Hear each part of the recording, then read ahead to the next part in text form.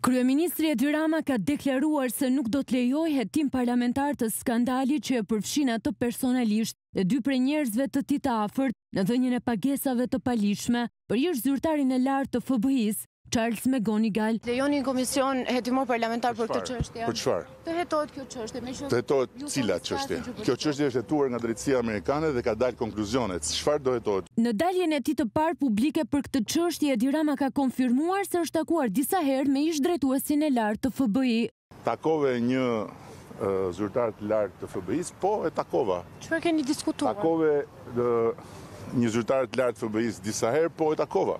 Dhe kjo nuk përbën Asnjë arsye për të nxjerrë konkluzione të reja duke parë nga Tirana me dylbit e politikës së qorollepsjes. Rama u tregua konfuz në deklarimet e tij lidhur me përmbajtjen e aktakuzës së drejtësisë amerikane, në të cilën emri i tij përmendet plot katërmbëdhjetë herë. Po ashtu ra në sy fakti që kryeministri u mundua të minimizojë numrin e akuzave që rëndojnë mbi mikun e tij McGonigal. Gjithashtu në aktakuzë përmendet fakti që informacioni ka dalë nga zyra e kryeministrit, pra është një person i cili ka çuar këtë informacion për të nisur një hetim për lobimin e opozitës. Edhe një tjetër, edhe një tjetër, përfundimet e hetimit dhe fillimi i fazës tjetër të procesit ku hetuesit Amerikanë kanë dorëzuar dosjen e hetimit të tyre, nuk ka asgjë nga këto që thoni ju. Absolutisht asnjë. Jo, jo, kjo përmendet, aty përmendet që informacioni ka dalë nga zyra e kryeministrit.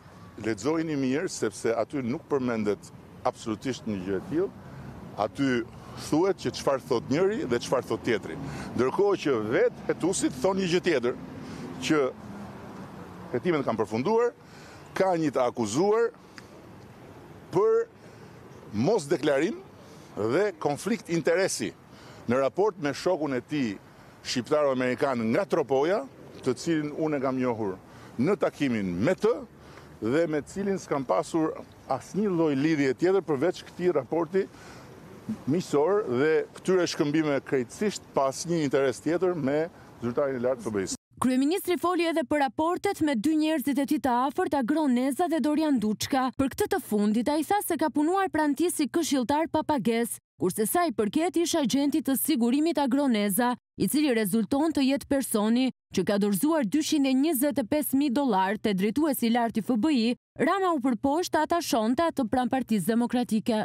Fola për zotin Agron, i cili e përsëris vjen nga Lëvizja Demokratike, shumë i afërt i të ndjerit Azem Hajdari, fis me Besnik Mustafajn, njerëz të nderuar pa diskutim, të cilin nuk e kam njohur më parë asnjëherë dhe me cilin nuk kam shkëmbyer as letra, as interesa dhe asnjë gjë tjetër, por e kam takuar vetëm në praninë e zyrtarit të lartë të FBI-së.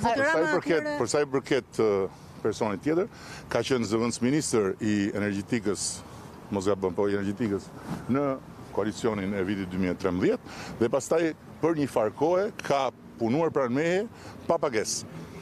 Kryeministri konfirmoi nga ana tjetër që takimet e tij me Charles McGonigal janë zhvilluar pa praninë e përfaqësuesve të ambasadës amerikane në Tiranë. A ka pasur dijeni ambasada amerikane ose ka pas përfaqësues të saj kur ju keni zhvilluar takime me këtë zyrtar të FBI-së kur ka qenë në Shqipëri? Unë nuk lajmëroj ambasadën amerikane kur takoj amerikanë. Janë amerikanët që lajmërojnë ose nuk lajmërojnë ambasadën. Pavarësisht se akuzat vijnë drejtpërsëdrejti nga drejtësia amerikane dhe kanë pushtuar mediat kryesore botërore, Rama u mundua t'i kanalizonte si sulme të opozitës.